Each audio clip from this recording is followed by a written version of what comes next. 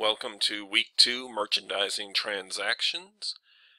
So week two, we're going to be dealing with buying and selling inventory. If we compare that to week one, everything in week one was providing a service. So if you were a hair salon or a dog walker or a landscaping company, you were just providing services. You weren't actually selling a physical good.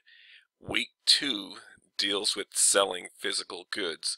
So the key to week two is this little scenario here. You've got your vendor, and in this case, I'm assuming it's a manufacturer. It's not always the case. It could be a wholesaler. But you've got your vendor.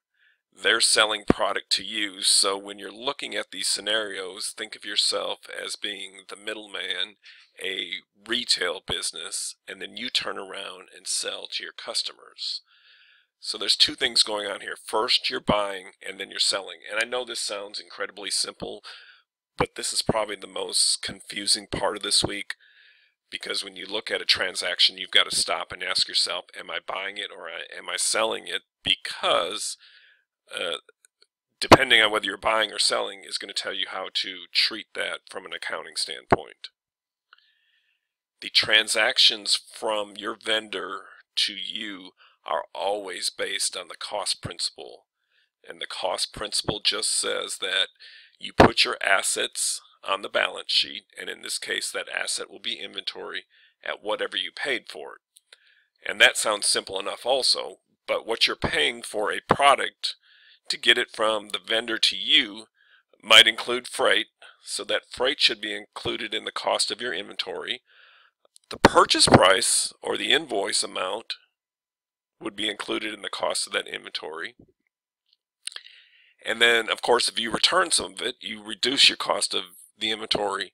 And then another thing, if you get some type of discount, either for purchasing a large quantity or a cash discount for paying early, those have got to be subtracted from your cost of the inventory. So your inventory can include a number of things, the purchase price, freight, discounts. Add purchase price, add freight, subtract discounts. So that's the relationship between your vendor and you, and then you turn around and sell to your customers, and the same thing is happening. You're going to have a selling price, you're going to have delivery fees, you might give them a discount for paying early. So all of those are included in your transactions, but unlike the initial transaction where you bought the inventory, those items do not affect your inventory because once you have that, that one inventory price, inventory cost that you've got your inventory on the shelves for, that amount stays the same. Everything that you are selling to your customers is going to go into a different account.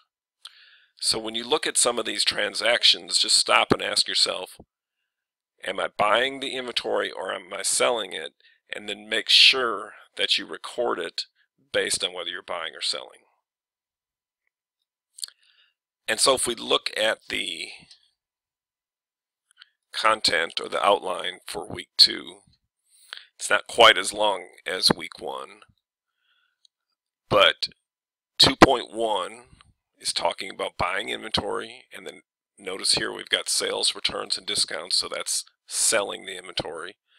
Um, the value of purchases, so that's buying the inventory.